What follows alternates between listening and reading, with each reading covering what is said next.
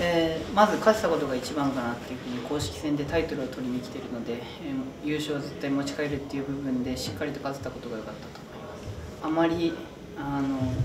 感情がないというか今後連戦戦っててでまあ昨日の試合にしっかり出場したことはもちろんいいことででまあ次の試合がもう来るんでそこに向けて今考えているっていうところ。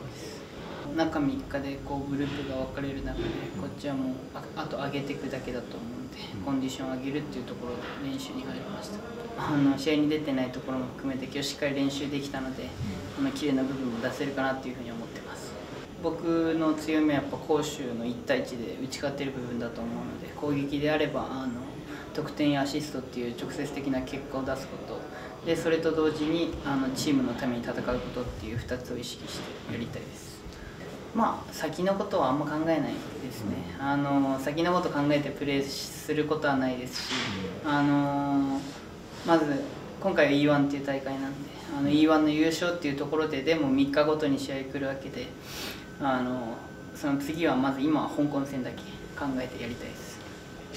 もう日本の代表として背負ってるのであの直接的な結果出して、えー、しっかりと勝利勝ち取って